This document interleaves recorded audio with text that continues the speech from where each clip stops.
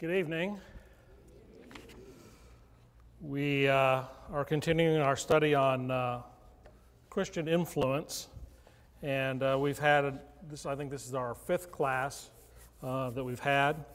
And before we uh, we go into a little review of that, assuming this is set up properly, we have to go over our homework. Remember what was the homework I gave you last time? You were going to go into the parking lot of a, mean, when, not just to hang out in the parking lot, but when next time you went to Publix or, or to uh, Walmart or to uh, wherever you shop, where they have shopping carts, it's not hard to find little shopping carts all over the place. And your job was to go find a cart, and instead of leaving it there, you're just going to take it back inside. And we're going to talk a little, not tonight, we're not going to talk about it, but a little later on, we're going to talk about why I'm having you do all these crazy things. So, uh, just so you know, my wife and I did participate in this. We, uh, we bagged five carts. So, my wife was diligent. She, she took one the longest distance. It was in front of a Office Depot, and it was a cart from, from uh, uh, TJ, TJ Maxx. So, she had to walk halfway across the complex to take it back. So, she gets an A plus for what she did. Mine was a little more like it was in the spot where I wanted to park, and it was just easy to take it, take it back. So uh, you'll get another uh, homework assignment uh, a little later on. But let's talk for a minute just about uh, what we've been, where, where, we've been, what we've been doing. We've we've had uh, four lessons so far. We talked a little bit about uh, Christian influence and why we were going to study it. We talked about what influence is. Remember, we, we, just, we talked about the fact that when people see you and interface with you, it's not only the things that you say, but it's the things that you do, the way you react, your body language, a whole variety of things can influence uh, other people in, in either a positive way or in a negative way. When we think of influence, it can go both ways. So we have to be careful when we're around people what they see and what, how we behave ourselves in front of those individuals. Uh, we talked about some, sometimes it's a conscious act, and other times it's unconscious on your part. You're not even aware that you're doing what you're doing. Uh, the second lesson we talked about being uh, after the Beatitudes, when we got into the few verses after that, talks about you're supposed to be the salt of the earth. And we talked about salt and the characteristics of salt and how that's kind of a parallel or similar to uh, some of the characteristics we're supposed to have as Christians. And then we also, the next week, talked about uh, light. You know, you go down a little bit further, you were supposed to be the light of the world. And where does that light supposed to be placed? It's like a city that's up on top of a hill. And what don't we do with the light? You don't cover it up. You don't cover it with, as it says in the scripture, you don't cover it with a bushel. You don't cover it up. It needs to be seen. And, and that's how your influence uh, works the same way. You can't cover those kinds of things up. Last week we talked a little bit about uh, leavening, leavening, which is the agent that we put in when we, when we bake things that makes it, things rise. We talked about all different kinds of leavening.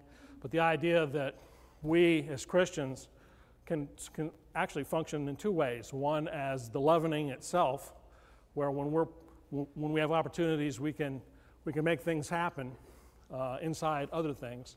But also, God's Word is the leavening that's provided to us. And sometimes we're not the leavening itself, but we're the agent that delivers that leavening to other, other people.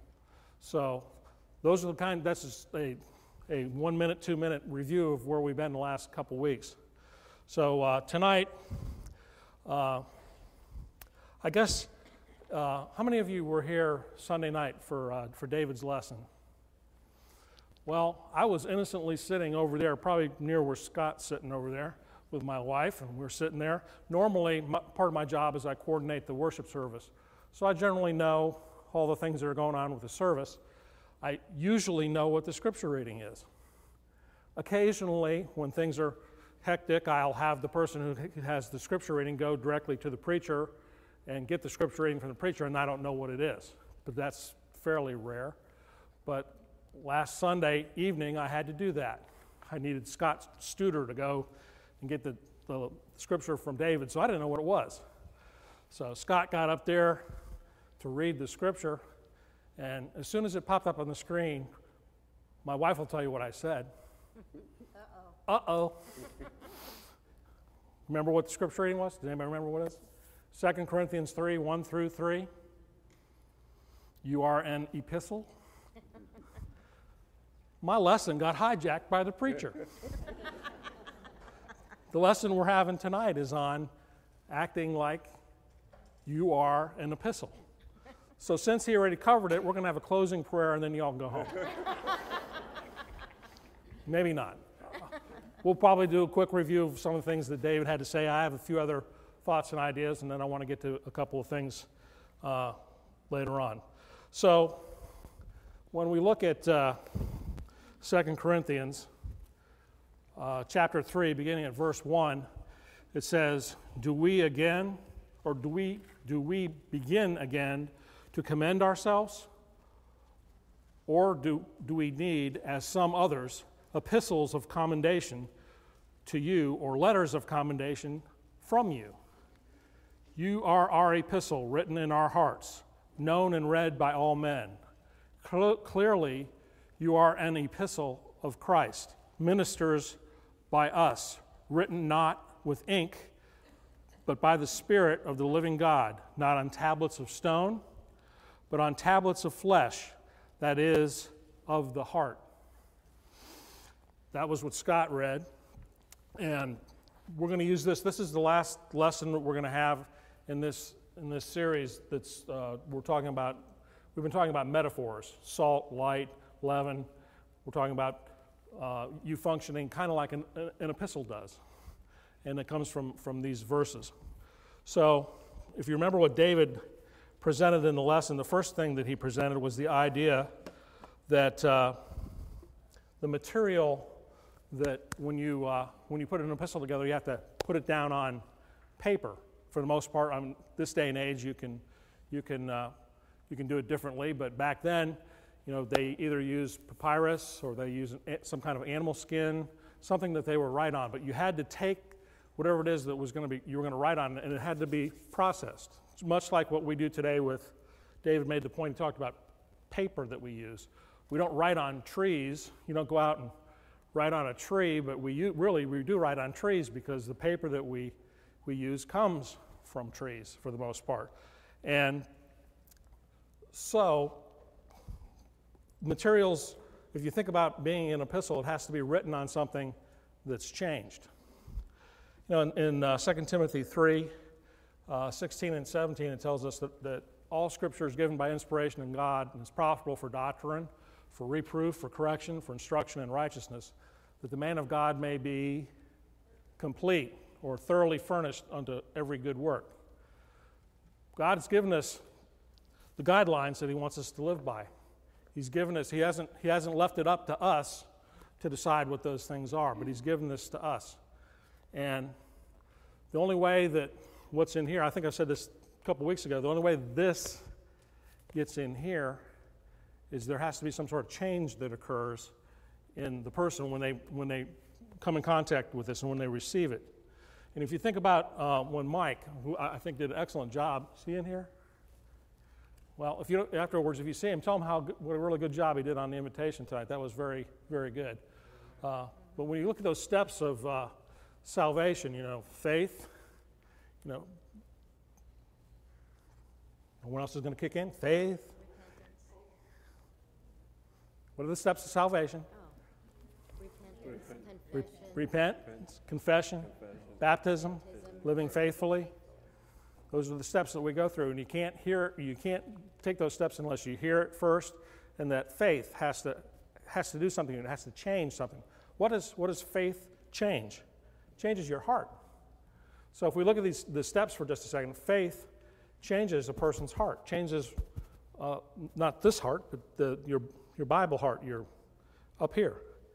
Repentance. What does repentance change? But ultimately, if you make a, a, decision to change, you're really changing your behavior. So faith changes your heart, repentance changes your behavior. What's baptism change? Changes your state the, the state that you're in between you and God. You know, you're outside of Christ, but when you're baptized, you're inside with Christ. So when we go through those steps, you know, faith changes your heart. Repentance changes your behavior. Baptism changes your state. And ultimately, it produces a new life. And I brought this as kind of an illustration. I don't want to mix metaphors because uh, this isn't something that you would write a letter on. But uh, when, you're, uh, when you're baptized, when you come out of that water, uh, I, I, I've spent a lot of time on this particular uh, illustration. Uh, drawing really isn't my greatest skill, but I want you to know this is exactly what you're, you're, this is exactly what you look like when you come out after you're baptized. Clean, clean, clean. Pure as the driven snow. Now, some folks have a mistaken idea that, you know, for instance, let's say, how many of you have ever uh, gone to a, done any kind of prison work where you go to prisons and you try and teach folks? Uh, done that a little bit. Bet you you've done some of that. Uh, it, it, change, it takes all your, your sins away. It changes your relationship with God. You're outside of God, now you're inside you know, of, of Christ. But unfortunately, some of the things that we do in life, you know, when you're baptized, does it take away the, the circumstances or the consequences of some of the things that you did? No. So, for instance, if you're in prison because you uh, robbed a bank, when you're, uh, when you're baptized, if you're in prison and we're able to baptize you, does the warden walk down and say, That's great, there's the door, see you later? No. Doesn't happen. Sometimes those consequences that we have, we have to live with for probably the rest of our life. There's a lot of things that, that have that, those kinds of consequences. But the relationship that you have with God, you know, when man looks at it, they see a lot of those defects. When God looks at it, he sees, he looks at it initially like this. Does it stay that way? Probably not. I mean, I don't know anyone who's perfect. You know, people, we're all sinners. We've all fallen short of the glory of God, and He gave us a, a way to, uh, to handle those things, which is what? We can ask for forgiveness. And we, we do it, you can do it every night when you, when you, when you, if you, when you pray, or you can do it any, you can do it in the morning when you pray, you can do it in the afternoon when you pray. You can do it here, you can come forward and, and do it. And depending upon what their need is and what you've done, determines how it is that you need to, uh, to undertake that. David's lesson also talked about when there is an epistle that's put together, there has to be an author. In other words, the words just don't appear on the page. There has to be someone who writes that epistle. And in this case, your life, if you're going to live your life as an epistle, as, and we'll get to that in just a minute, how that sort of fits in, but if you're going to live your life that way, um, who's the author if you're an epistle, who's the author? Okay. Are you involved in it at all? I, I, you know, I don't know how you want to think about it. Some people want to say God is the author and you're just, you're just part of it, but I don't think it works that way myself. I think of it more in terms of uh, we're kind of co-authors.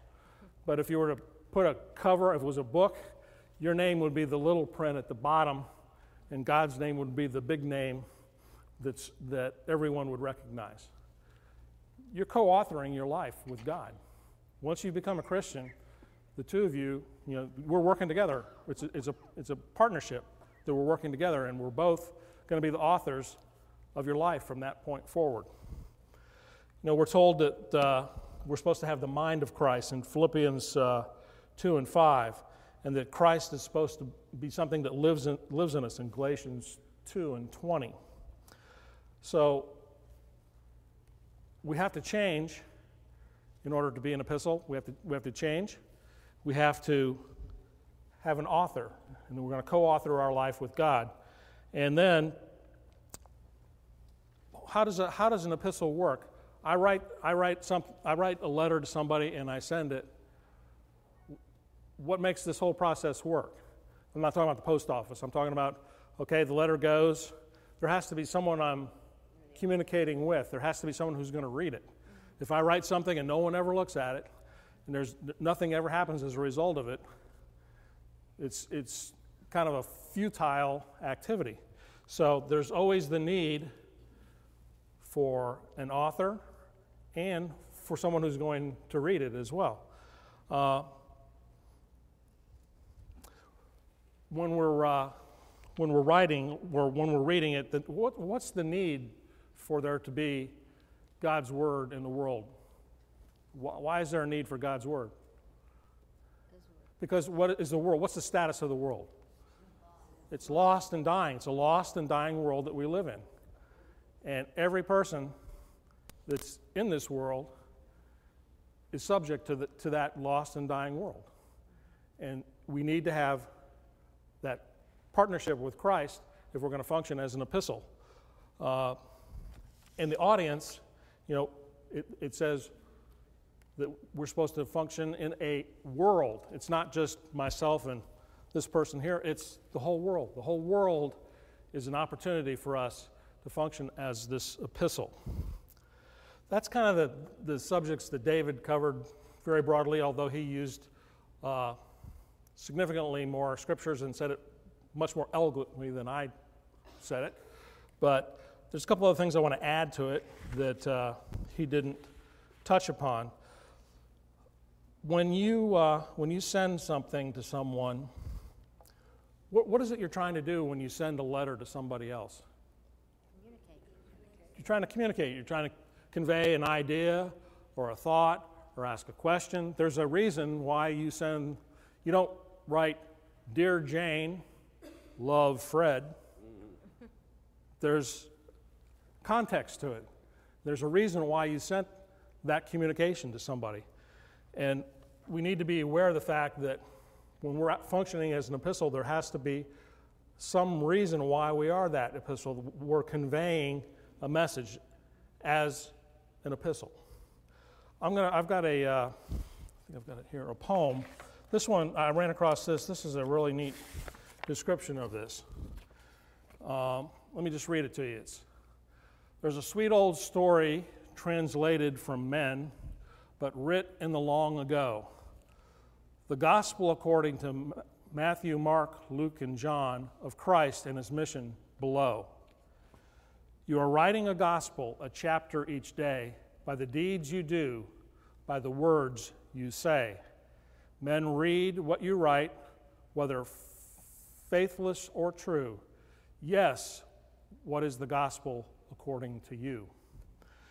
Tis a wonderful story, this gospel of love, as it shines in Christ, Christ's life divine.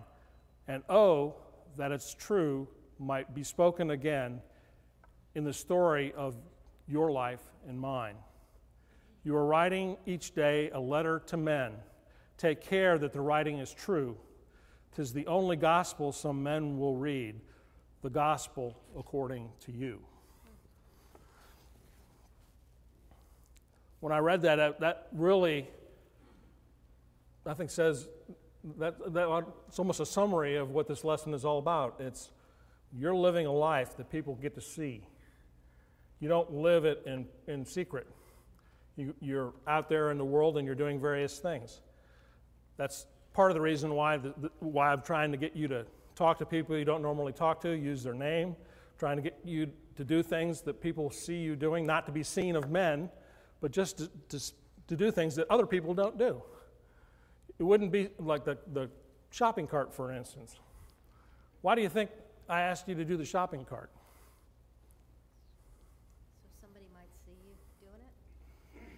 Because who, who else is doing that? oh, okay. if, if other people were doing it, would there be carts all over the parking lot? No. I, I mean, I did, there was one parking lot I went into that I couldn't find a cart. I was very disappointed, but I think they had just, the cart guy had just gone through. Trudy.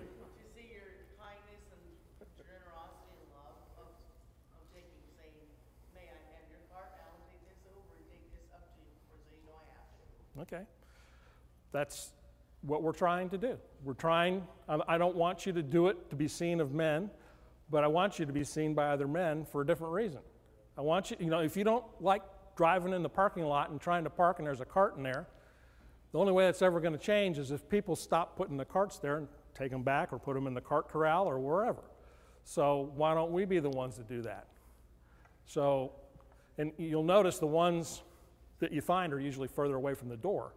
So you're going to have to park further away when, we, when you do this.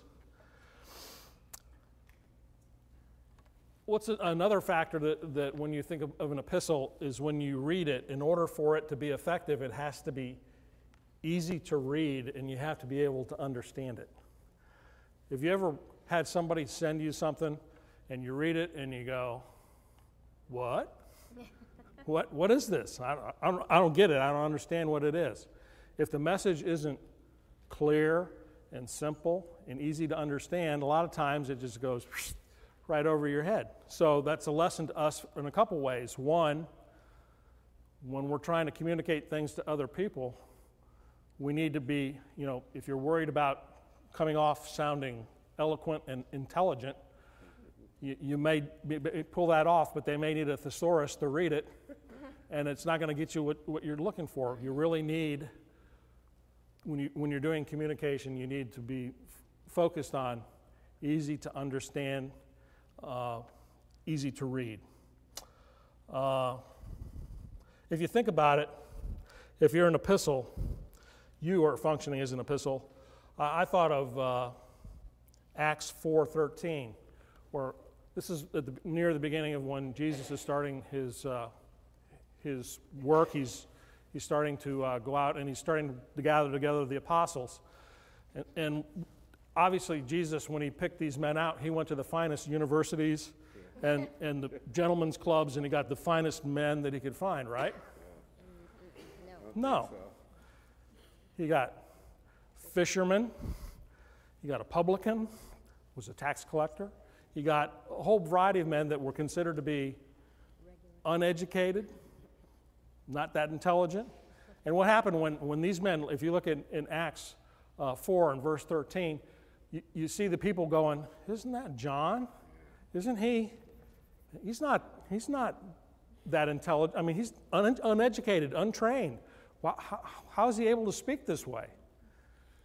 Well, he's, be, he, he's being used as an epistle. He's being seen of people, and people are, are seeing what he does, and, and it's making a difference.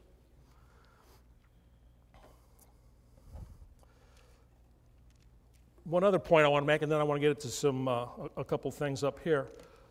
If you think about being an epistle,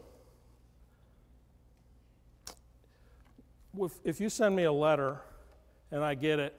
I don't know if I, I, don't know how you do your mail. I generally let my wife get the mail because she doesn't like the way I do the mail. So when I get the mail, I come come and I stand next to the trash can, and you get about two, three seconds worth of my time because I go trash, trash, trash, trash. She doesn't function that way. She likes to go through it and stuff, but when somebody sends you something like a letter and you open it up and go, and you read it and you go, dum, dum, dum, you throw, it, throw it in the garbage can. Whatever it is that you are, whatever it is that you do, you need to be memorable. Because there's no guarantee when you, if you're going to function as an epistle, eventually you are going to disappear. I'm going to dis- we're all going to disappear, save Christ coming back before, you know, we reach that point in our life. So, as an epistle, at some point, you as epistle, you're going to be kind of the get, get crumpled up and you're going to be set aside. And that's why it's important that the things that you do need to be something that people can remember. And we're going to have a lesson later on about uh, it's kind of a spin. I don't know if John would remember this.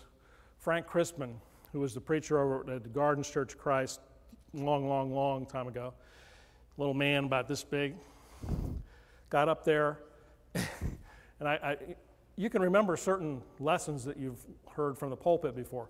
He got up there, and you can, you know, when Frank would stand up behind the pulpit, you could see maybe this much of him. And he gets up there, and his hand comes up, and he goes, boom, and he bangs it down. And it's a, it's a suction cup that's got a flag on it.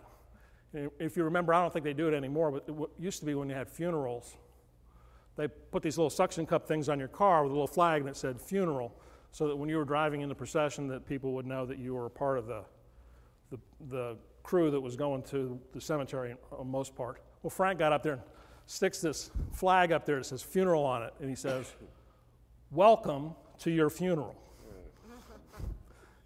And he began, he, he started talking about what's your eulogy going to be? And he went through the whole thing. It was, it was one of the most amazing sermons I've ever heard. It was just, it really made you stop and think about what or what's going to happen when you're gone. What kind of influence will you have had, and what will people be thinking about you? You shouldn't, you shouldn't worry about it in the sense that there's some people who are going to go, you know, Mike, he was, he was a real toad, you know? And we tried to get him to go out to drink, and he wouldn't do that, and, you know, he wouldn't do this, and, you know, there's people who aren't going to like what you do if you do all the right things.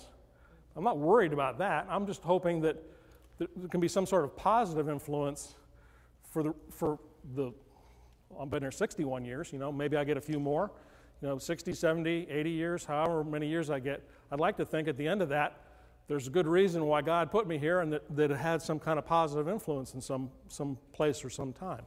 So, got to remember that as you function as this epistle, eventually it, it goes away. And what's the residue that gets left behind from that? Okay, we're going to look at uh, some characteristics. If you're going to be functioning as this uh, epistle, I want to start with the, call them the knots, not K N O T S, not tying a knot, but knots as in knot. Uh, I tried to pick out some, uh, some scriptures that we're all familiar with. I didn't want to pick out some obscure thing that you hadn't heard of before or wherever. And it's not hard. When you start looking at, if you're trying to think about the characteristics you ought to have or the things you ought to do or not do, there, there are plenty of lists of things in the Bible that, that help you understand some of this. This first one comes from uh, Galatians 5 uh, 19 through 21. It should be fairly familiar to you. It's uh, the works of the flesh. And when you're going to function as this epistle for other people, they're going to be looking at you. And like it said in that poem, sometimes the only thing they'll ever see, they'll never crack a Bible in their life, but the only exposure they might have it is their exposure to you. So, what are you going to, what are, what are the things that we ought to do and what are the things that we ought to not do? These are the knots. I started with the knots. Some of these things you're going, okay, Mike. Uh, some of these things like adultery, fornication. People, I mean, you're not going to, we don't have scarlet letters anymore. You're not going to be walking around with the scarlet letter, people knowing that you're an adulterer. But people know a lot of things about you that you don't think that they know about you. And a lot of the things that are on here uh, uncleanness, lewdness, idolatry, sorcery. You know, people go, idolatry, oh, I don't know anybody that's got an idol in their house. Well, idolatry in Christ's time was one thing, if you don't think we have idolatry today, then you haven't really thought about it too, too much. Is your car more important than coming to church? What, what, what's the th- what are the things that pull you away from the things that you, God wants you to focus on? When something's more important than God, and you can come up with a reason for it, that's a form of idolatry. We need to be aware of that, and other people will see that. Uh, jealousies, outbursts of wrath. Anybody have temper issues? Um, some people do, some people don't. Uh, but when you get mad, how do you get mad? I mean, it's okay to it's okay to get upset, but how do you do it? And when you do it in front of other people, what does it look like? Uh, heresies, envies. I don't think we have any murderers. I'm not too concerned about the murdering part here. Uh, drunkenness, rival, revelries. Uh, next one is uh, from Romans 1 29 31, some additional items that we need to avoid uh, unrighteousness, sexual immorality, wickedness, covetousness, maliciousness, full of envy, murder, strife, deceit, evil mindedness, whisperers, backbiters, haters. It's an interesting list because when you start looking at this list, all these things God hates. you know, we tend to we tend to try and put them on a hierarchical basis. It's like, well, murder is really really bad, but if I'm down here in the uh, backbiter category or a gossiper or whatever those those things, well, in God's eyes, that's those are all Sin. of equal equal value in terms of He doesn't want you doing those things, and we shouldn't be seen doing those things. The, you know, the ones at the end, untrustworthy, unloving, unforgiving, unmerciful. These all play to this, this idea of can, can people trust you? You know, what, what kind of demeanor do you have? Are you willing to forgive other people? Are you, are you uh, a merciful individual? The next one uh, comes from Revelations uh, 21 and 8, where it says, it has an additional list. It says, cowardly, unbelieving, uh, we have murder back in there again, sexual immorality is back in there again, sorcery, idolatry. And the reason I put it in there is the last one liars. When you lie once, it's bad. When somebody finds out that you lied, it's even worse because what happens when you lie to somebody? They never believe you. When you tell them the next thing, they're going to be going, What? Is that true or is that not true? And you have to have a spectacular memory to be a good liar, don't you? Yeah. You, ha- you have to remember all the details of your lie. It's just easier to tell the truth. Yes. Okay, the, the next one is probably one. I, before I un- uncover it, I guarantee you this next one, every person in this room has a problem with. And if you don't think you have a problem with this, then you have a problem.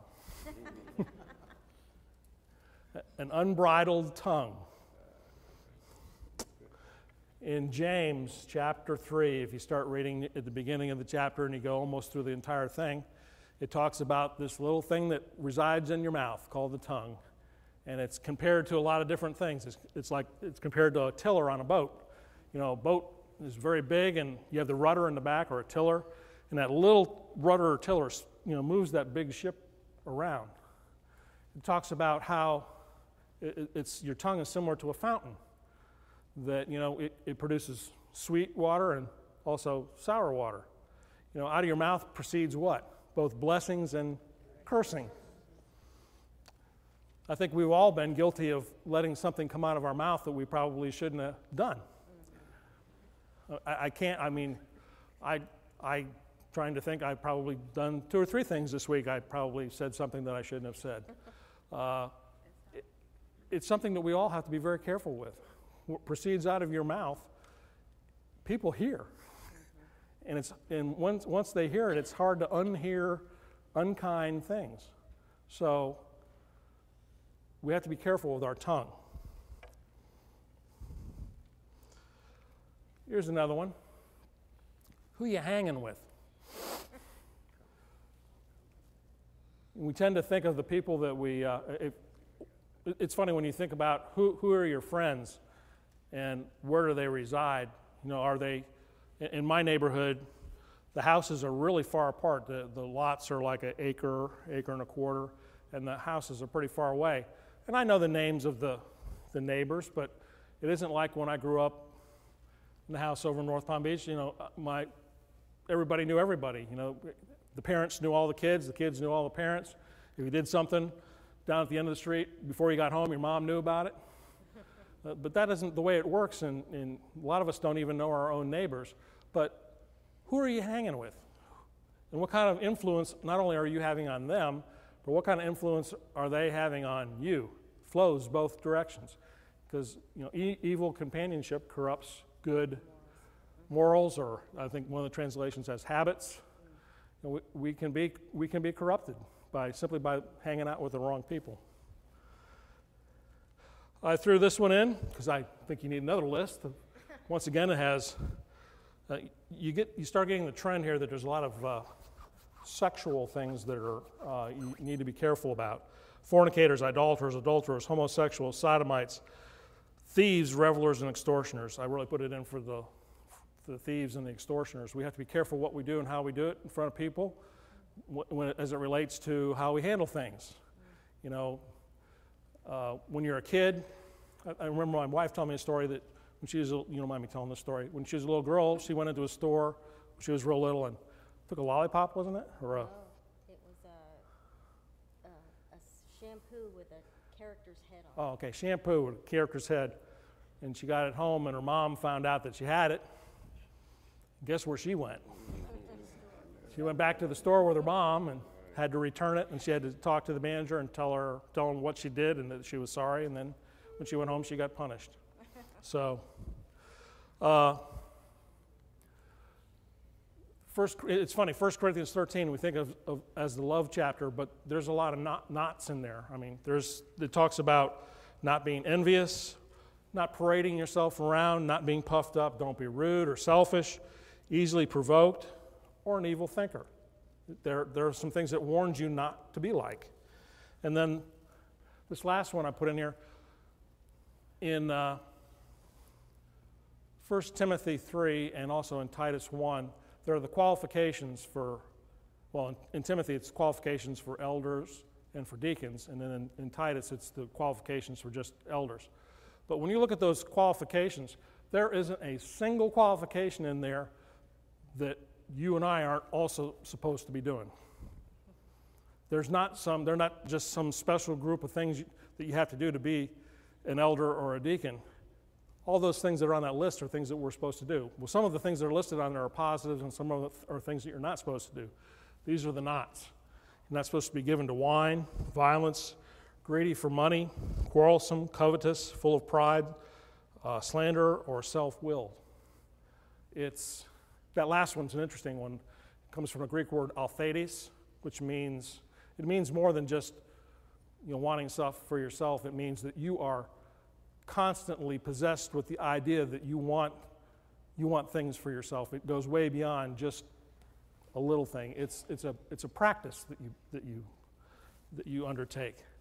Well, let's move away from the knots and move to the when people see you, let's talk about the positives. Where are the things that we, we want, if we're going to be an epistle, what are the things that, that we want to uh, be seen?